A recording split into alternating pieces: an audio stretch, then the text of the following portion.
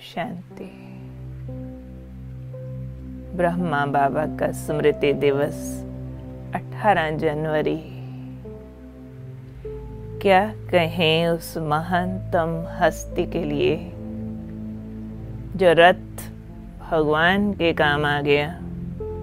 वो देह रूपी रथ, ऐसा विचित्र अनुपम, अनोखा, जिसके द्वारा उस परम शक्ति ने अपने को व्यक्त किया, अपने कर्म किए और उनके मुखारविंद से ईश्वर की दिव्य वाणी उच्चारण हुई, जिसने लाखों मनुष्य आत्माओं को पतित से पावन बना दिया।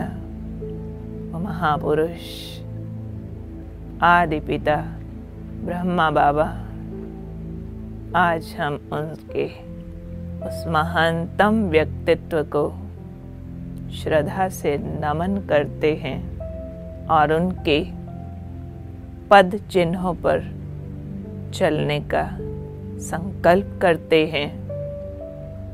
क्या कदम उन्होंने चल के दिखाए? वो तो मानव से फरिश्ता हो गए और आज भी फरिश्ता रूप से सारी मानवता के कल्याण के कर्तव्य पर फरिश्तों की दुनिया में उपस्थित हैं। वो प्यारे ब्रह्मा बाबा, मेरे दिल पर क्या अमिट छाप छोड़ी है उन्होंने? मैं बता नहीं सकती। मैं छोटी सी सोलह वर्ष की थी। एक किताब मिली थी। जीवन को पलटाने वाली एक अद्भुत जीवन कहानी, जिसमें इस महानतम हस्ती के जीवन चरित्र थे कि कैसे वो महान हस्ती ईश्वर को अपने तन में उतरने पर बाँध पाई।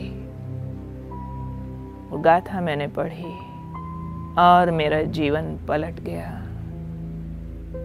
कि मन चित मन के दूर, कई किलोमीटर दूर तक भी हम ऐसे महान व्यक्तित्व की कल्पना तक भी नहीं कर सकते थे।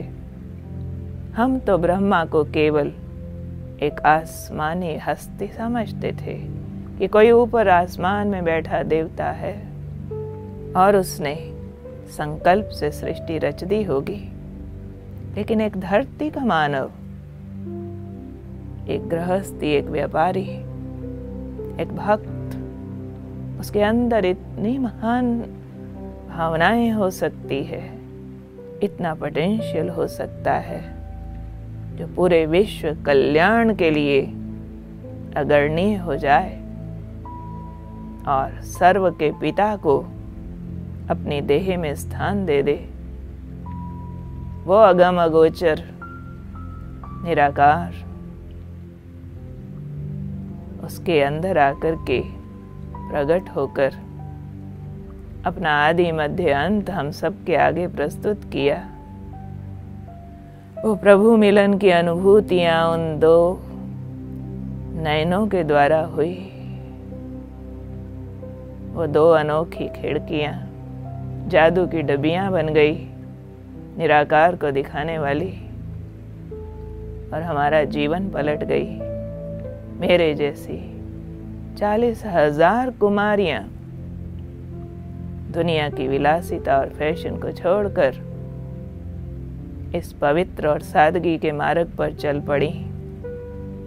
उस महानतम व्यक्तित्व ने हमें खींचा और आज हमारा रोम रोम उनका शुक्रिया कर रहा है, उनका एहसान मान रहा है। क्या आपने हमें दुनिया की तपती आग से बचा दिया। हमारे जीवन को सकारत कर दिया। विश्व कल्याण के मार्ग पर लगा दिया।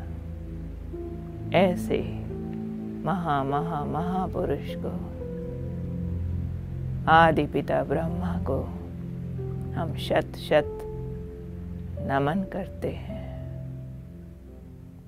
ओम शांति।